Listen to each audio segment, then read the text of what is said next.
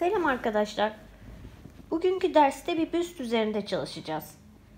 Ee, ZBrush'ta bir küreden başlayarak yola çıkabiliriz.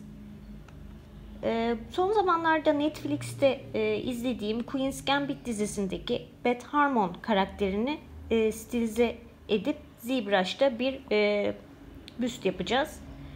E, bir küreden yola çıkıp bunu Move brush ile e, ittirerek aslında modellemeye başlıyorum.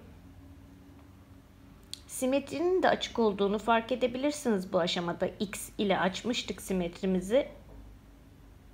Evet yavaş yavaş çekiştiriyorum. Ee, silüeti yakalamaya çalışıyorum.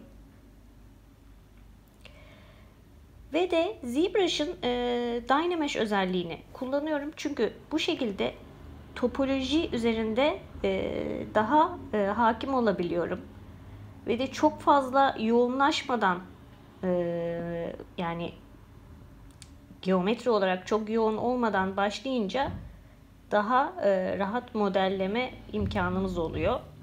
Bir de ayrıca Sculptris özelliğiyle de modelin topolojisini sürekli update edebiliyoruz. Bu da brush'ın model üzerinde hızlı e, çalışmasını sağlıyor. Evet bu şekilde yavaş yavaş modelimiz şekillenmeye başlıyor aslında.